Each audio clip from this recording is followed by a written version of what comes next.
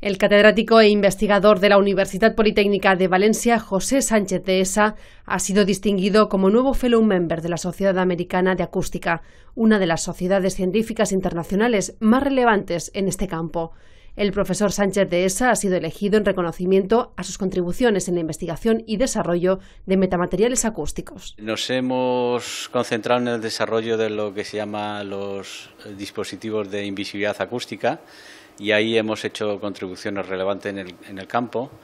Luego también hemos desarrollado dispositivos para la absorción del ruido, hemos desarrollado barreras acústicas, una de ellas a escala real está construida aquí eh, al lado del Departamento de Ingeniería Electrónica y últimamente estamos buscando la, la redireccionalidad del, del ruido eh, con estructuras eh, nuevas José Sánchez de Esa desarrolla su labor científica en el Grupo de Fenómenos Ondulatorios de la UPV desde octubre de 2003.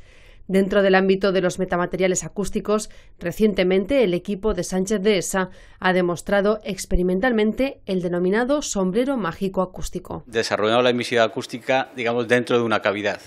Entonces lo que hacemos mediante este manto de invisibilidad encima de una cavidad es crear la, ilusión de que la cavidad está vacía, pero en realidad contiene un objeto.